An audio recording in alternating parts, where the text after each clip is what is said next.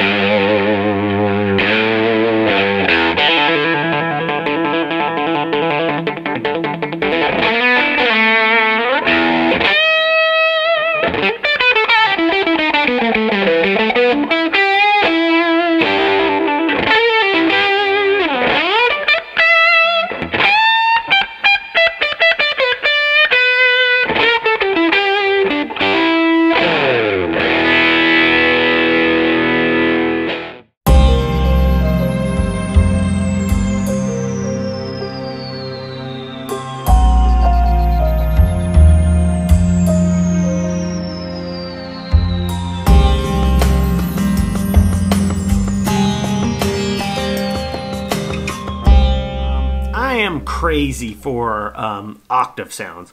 Mostly low octaves. I don't. I don't use the high octave sound that much. When I do, I, I really like the kind of Octavia type sound with fuzz and whatnot.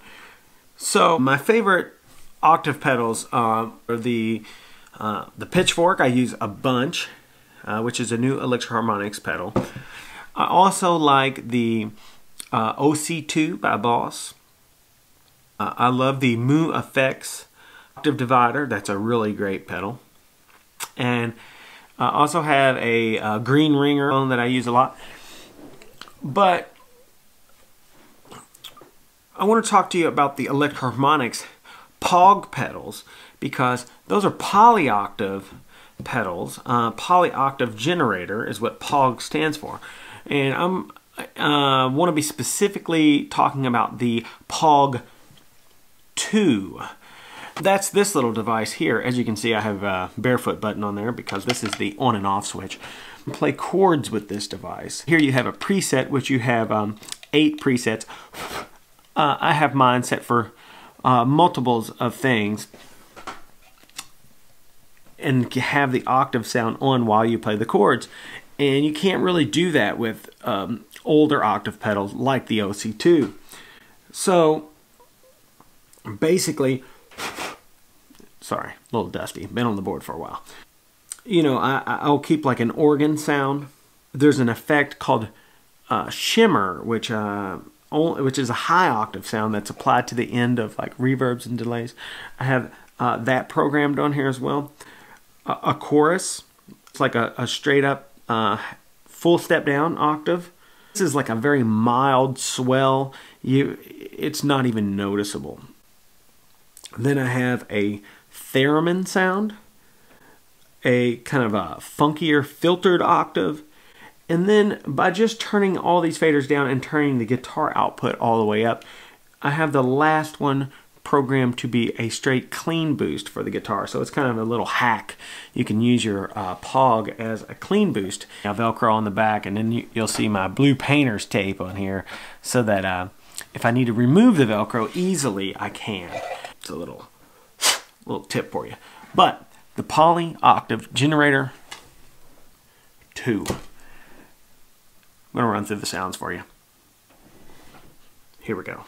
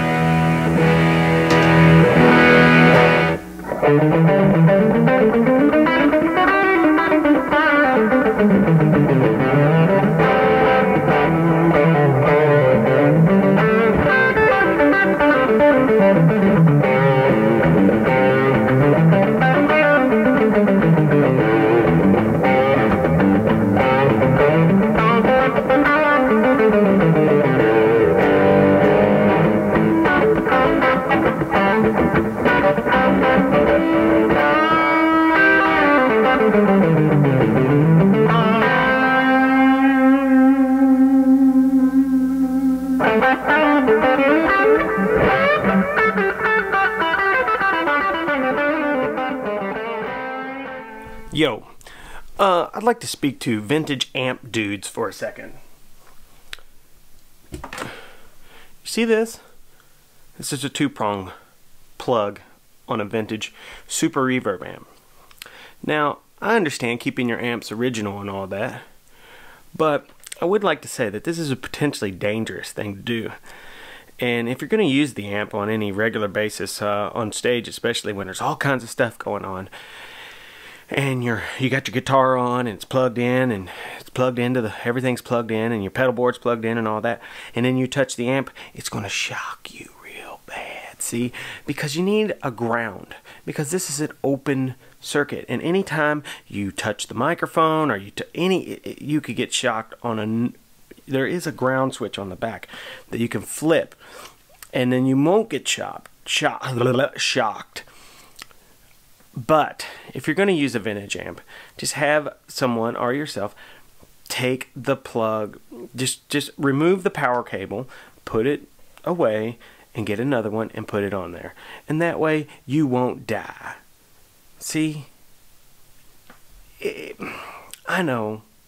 It hurts the collectability and all that. Who cares? It's like, you know, deduct a dollar, okay?